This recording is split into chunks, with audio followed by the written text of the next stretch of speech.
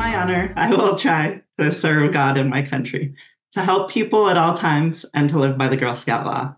This is the Girl Scout Promise.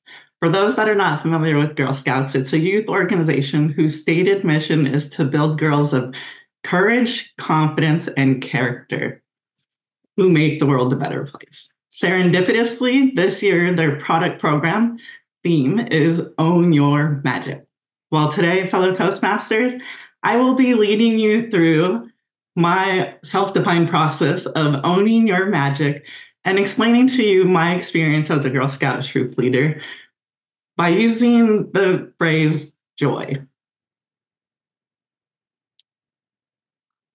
Joy. If magic is your interest and passion combined to the to make the impact that you have on the world, then to own your magic, I think there's three steps to it. First is know your journey. Where are you coming from? Where do you want to go? Know the obstacles that you need to overcome. What is holding you back and keeping you from being the best that you can be?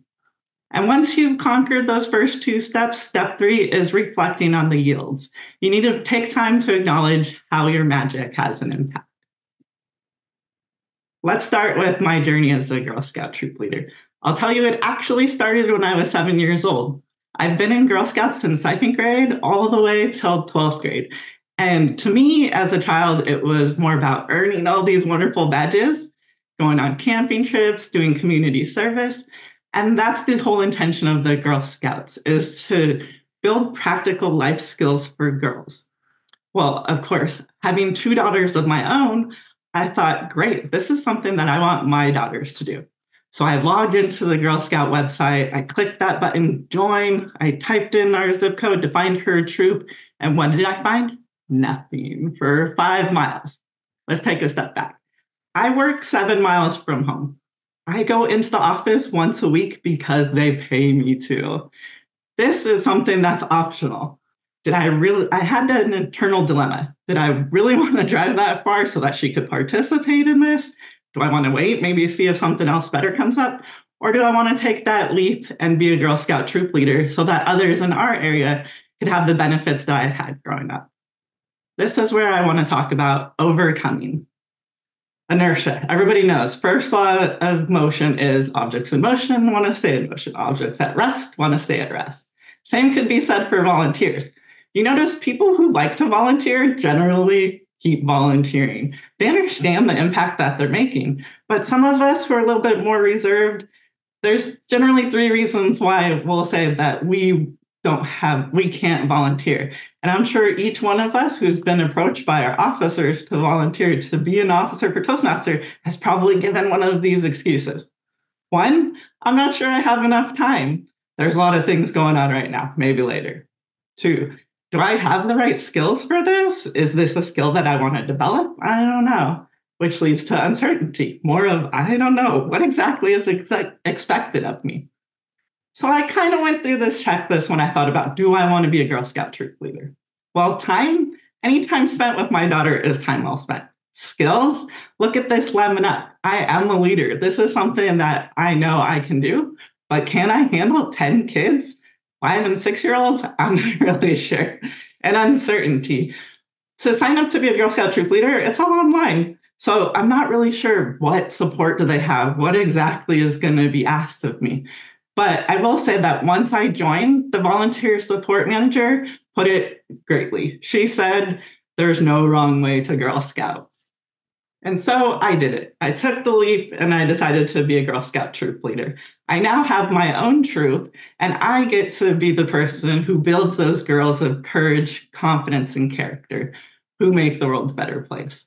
I have 10 daisies from five different schools, but I'm not doing it alone. I not only have the service unit who helps me out, I also have four adult volunteers who help me out as well. And the great thing about Girl Scouts is it's supposed to be girl run. So I give them tasks. They each are a part of this meeting. And maybe at this age, it's more A versus B, but in the future, there'll be less and less for me to do. So let's talk about the yields. And I'm not talking about cookie cells. Think of any project that you do. You have the lessons learned.